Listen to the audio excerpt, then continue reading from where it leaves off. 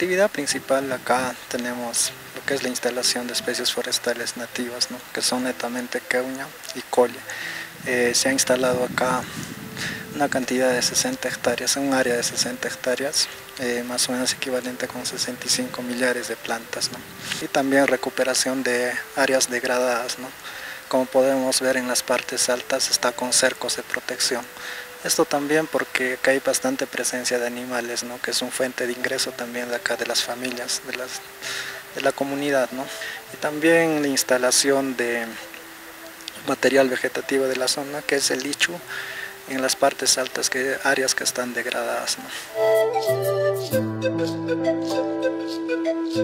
La función estrictamente es de acumular agua en época de lluvias. A través de esas actividades, de esas zanjas, hacemos que el agua se acumule y luego infiltre al, subsuelo ¿no? y que se pueda acumular o que la presa que esté construida pueda aprovechar ¿no? esa infiltración.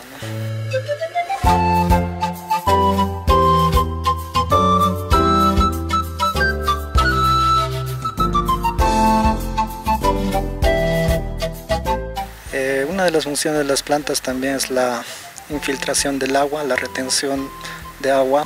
También va a disminuir la erosión que existe acá por las pendientes pronunciadas y también lo que es la recuperación de la cobertura vegetal de la zona. Como vemos hay poca cobertura, pero con estas instalaciones vamos a mejorar eso.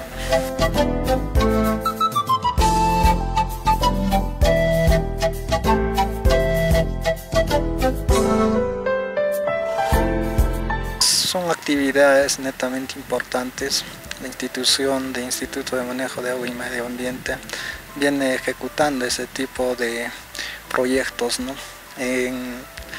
tenemos esa actividad de forestación y reforestación, zanjas de infiltración y recuperación de áreas degradadas en todos en los 10 microcuencas que venimos interviniendo.